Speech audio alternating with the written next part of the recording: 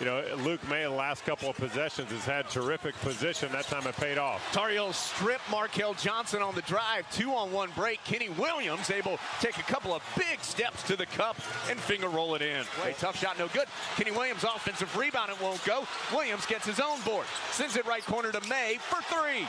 Boy, Kenny Williams playing with a purpose right now in Raleigh. Carolina up 12 to 2.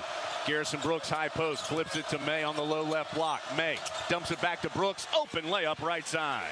Woods front side now caught in a double team. Able to get it to Luke Maye at the timeline. Ends up to Cameron Johnson for three on the left side. Cam Johnson has it right now, top of the key. To Brooks, hard dribble, is able to bank it in and draw the foul. White out near the timeline. Heels got to go. Shot clock down to four. White splits the double team, goes to the rim and gets it home. Well, that was a beautiful move, and we all looked at the shot clock thinking, what's getting ready to happen? Carolina had not been able to crack the 25 foot mark. My State almost turned it over there. Boy, it was a pretty finish. Black has it, goes up high to Kenny Williams. He drives, kicks it back out to Maye. Open look at three is good. When Luke has gotten open on the perimeter, it's always been because of a drive and a pitch back. Picks up his dribble in the front court to Maye. Pump fake for three. Kicks it back to Johnson. Open for the triple. Yes, sir. His turnaround no good, but Cam gets his own offensive glass. He'll kick it out to Coby White. Takes a step to his left, fires the three, and knocks it in. State has not led tonight.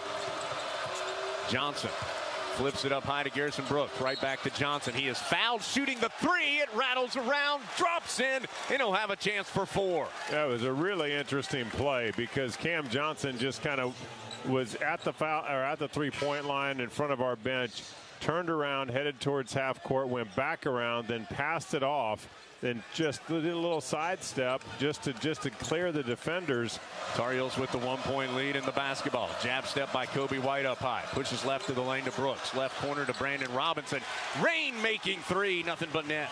It's a good shot for Brandon if he can make it, and he's made a few in the last couple games. Line drive three missed by Dorn. Carolina with the rebound on the move. They have the numbers. White bounce pass right side to Kenny Williams for two.